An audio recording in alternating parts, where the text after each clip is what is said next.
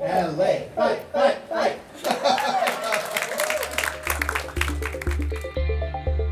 RoMeLa, the Robotics and Mechanisms Laboratory, is a uh, research laboratory at UCLA in the Mechanical and Aerospace Engineering Department. So the RoMeLa is a lab that I started when I first became a professor.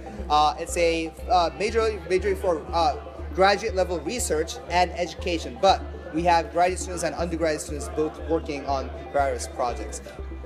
Why I joined was because of my like robotics. Ever since I was young, I watched BattleBots. So, um, watching robots just like interested me, and I got more hooked into robotics. And I was kind of disappointed where I came from. There wasn't really much robotics opportunities, but I never let my dream down, and I came here to UCLA, and then I applied to Dr. Hong's lab, and then I got in. I'm really excited to be here. So I don't know if you have a chance to see all the other robots that we have over here. We have robots that's big, strong, disaster relief robots, for example. We have robots as hexapod robots that can walk on uneven terrain for demining. Like a post-war, there's a lot of areas that still has landmines underground, and a lot of people, uh, especially kids, you know, by accident they get hurt and killed by these things. So we want to have these robots walk around in the train and search for mines and get rid of them. We have different robots for, uh, you know, construction sites, uh, low-cost prosthetic limbs, and all different type of things. LARA stands for Luskin Automated Robotic Assistant.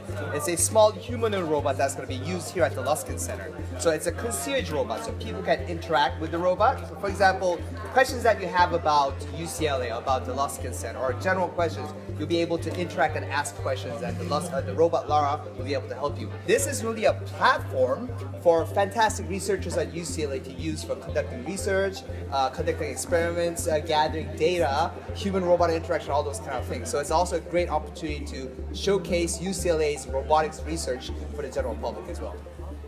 Without further ado, let me introduce Professor Dennis Hong. Three, two,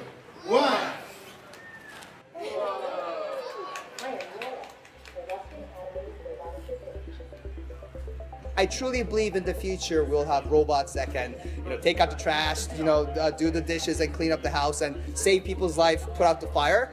But to do that, we have to start by doing the fundamental science and engineering, and that's what we're doing here at UCLA at the Robotics and Mechanism Laboratory.